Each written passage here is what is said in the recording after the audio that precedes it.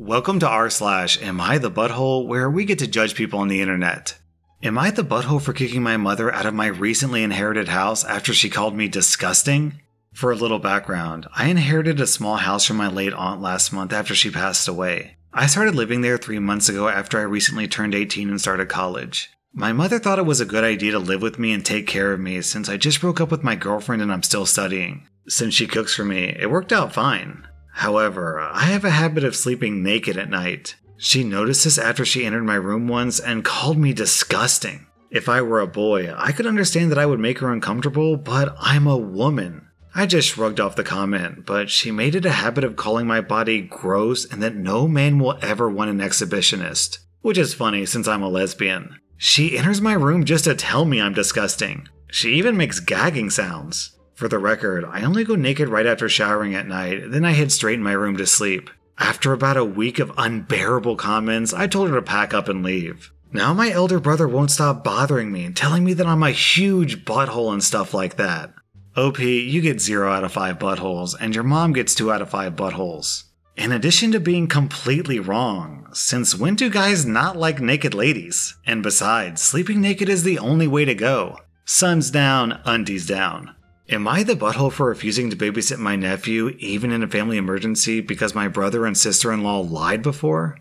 I'm my brother and sister in law's only relative in the city. When my sister in law was pregnant, I made it clear that I'd only babysit for them in the case of a serious emergency. For example, someone has a medical emergency. I won't babysit if they just wanted time off from being parents because I don't have free time for that. I work 60 to 100 hours a week, so if anyone needs time off, it's me. Last year, my brother and sister in law asked me to babysit on the day of an informal work meeting, a lake retreat organized by my company. Everyone's expected to go, and it's frowned upon if you miss it. They wanted to go on a date. I said no, I have an important work event. They continued to nag me about how they haven't gone on a date for so long. The night before that day, they called in a panic and said their friend Mike from the next city over had been in a car accident, and I needed to babysit nephew for a few hours so they could go visit Mike. I reluctantly agreed, with the stipulation that they'd be back by 7 a.m. the next day to pick nephew up so I could leave for my work event. They didn't come back until two days later. I had to cancel on my superiors the morning of, which looked awful. My brother and sister in law never responded to multiple texts and calls from me.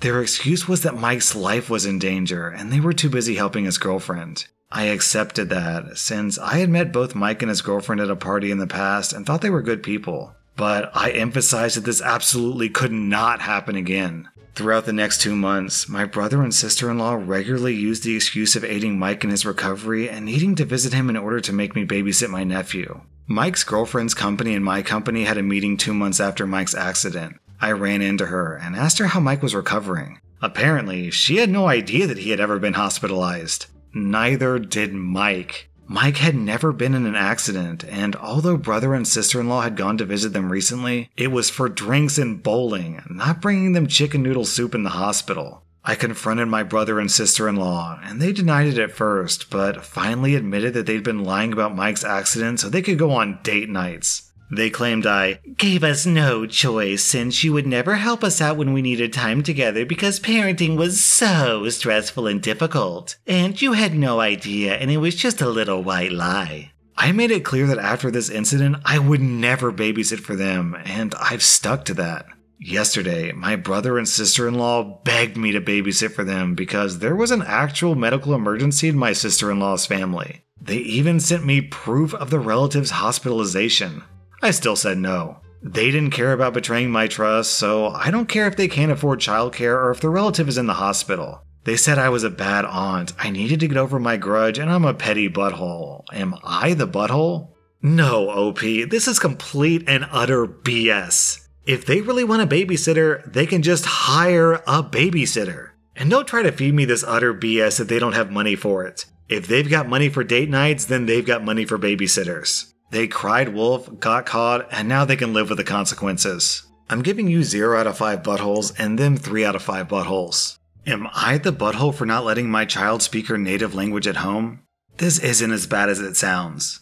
I'm a 35 year old Englishman and my wife is a 32 year old Welsh woman. But if you get right down to it, we're both British anyway. She's always been kind of funny about identifying as Welsh and not British, no matter how many times I tell her they're not mutually exclusive, lol. I'm really tired of having to put up with her extreme nationalism. First of all, she insisted that our daughter have a Welsh name, so now my family can't even pronounce it or spell it. I have to put up with jokes about my daughter's name and her name getting spelled wrong all the time. The only primary school in the area is a Welsh school, so my daughter started learning all her schoolwork through Welsh. This is fine, I guess. It's pointless, but other than not being able to help her with her homework, which her mom does anyway, it's not an issue. The issue is that my daughter started speaking Welsh with her mother's family, her mother, and her friends outside of school. I asked her to stop, but my wife said I was being really rude to ask her to stop speaking in her native language. But she can speak English too. It's not her native language when her father doesn't speak it.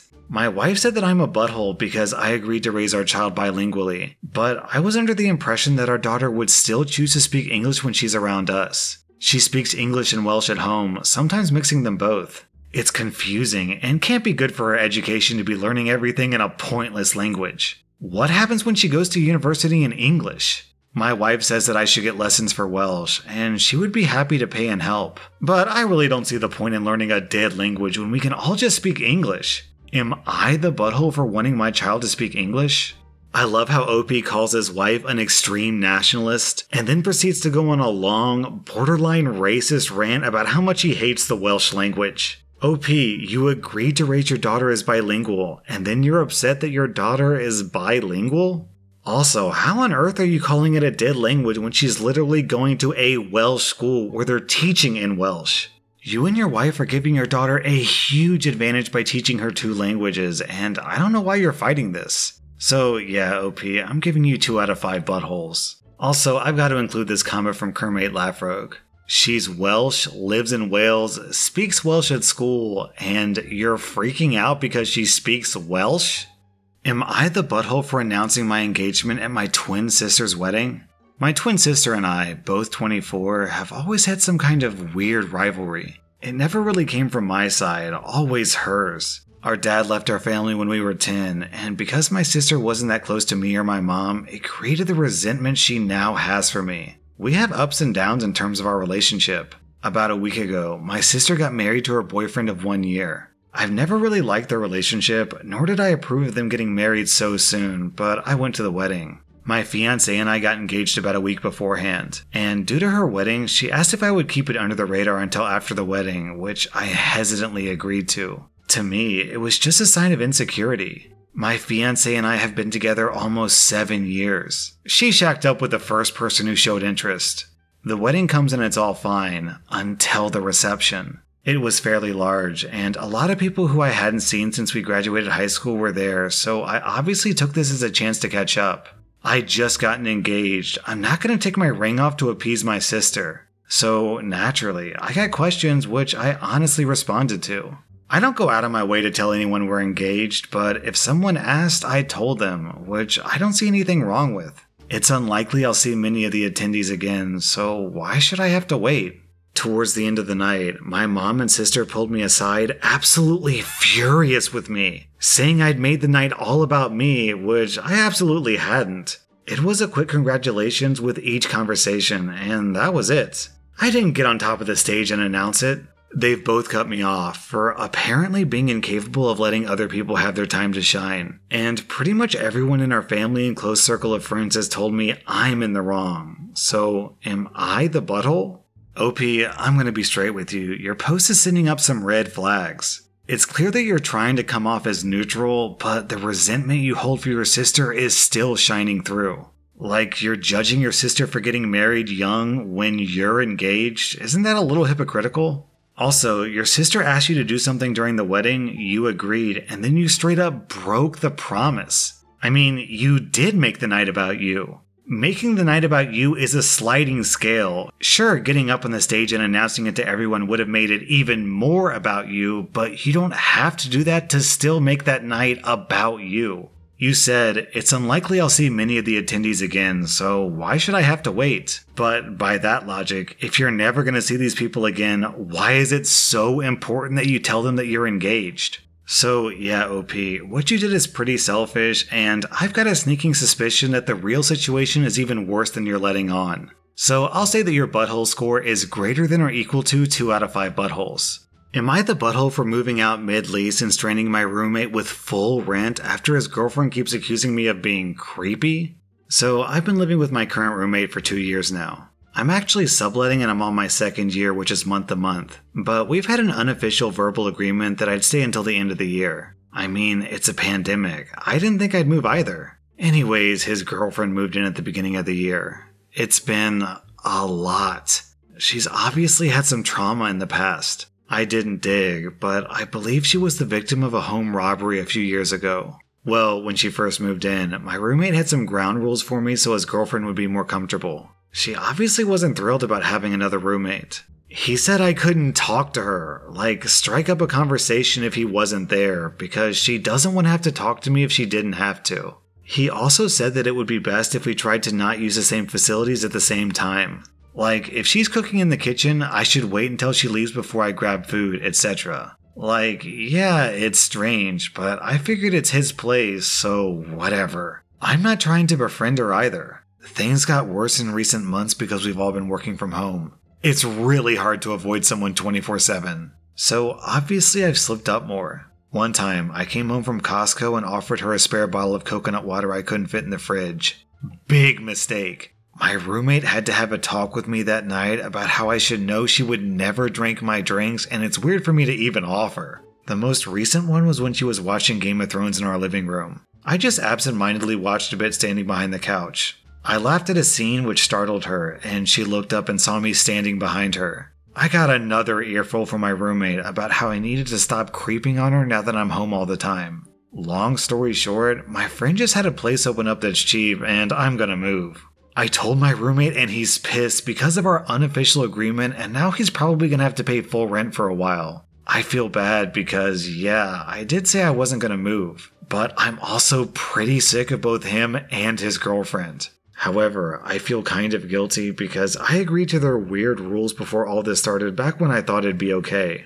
Uh, yeah, OP, I'm giving you 0 out of 5 buttholes here, and your roommates are showing some really bizarre behavior. So, first of all, you have rights as a tenant. I mean, it doesn't really matter that you're subletting, you're paying for your room. That means you have a right to be comfortable in your own home. Your roommate can't just let his girlfriend move in and then expect you to completely change your life to accommodate her. Also, since you said that your roommate is going to pay full rent for a while, that would indicate to me that his girlfriend is paying zero rent. So, why are you expected to tiptoe around her when she's not paying any rent herself? In fact, I have a sneaking suspicion that your roommate violated the lease agreement by having his girlfriend move in. I'm giving them each 1 out of 5 buttholes. Am I the butthole for telling my daughter to cancel her marriage?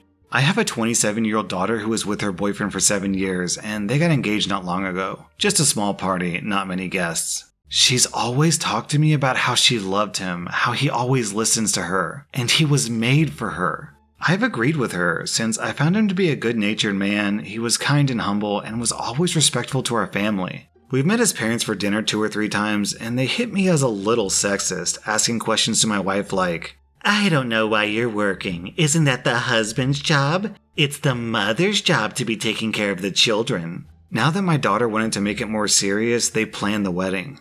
Anyways, we've been planning the wedding, and one day her boyfriend comes to me and says that his parents want to talk to me. I was gonna call my daughter too, but he said that she wasn't allowed. I went with him, and his parents started talking with me about a dowry. I was confused and said there was no dowry, and in 2020, who even gives a dowry? But my daughter's boyfriend and his parents started lecturing me about how necessary it was and how my daughter would be a stay at home wife. My daughter's told me that she wants to continue her dream, so I don't know what that is.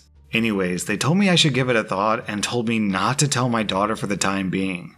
However, I immediately told my daughter about it, and she started crying, saying she didn't know that her boyfriend was so sexist. She asked me what she should do now, and I told her that she wasn't being forced and could cancel her marriage if she didn't want it. Well, that's exactly what happened, and now her boyfriend and his parents are calling me, saying I took away the love of his life, etc. On top of that, some of her friends said that I was a butthole for breaking up what would have been a healthy marriage, but it's my daughter's happiness that matters. Am I the butthole? Man, this is a weird one, OP.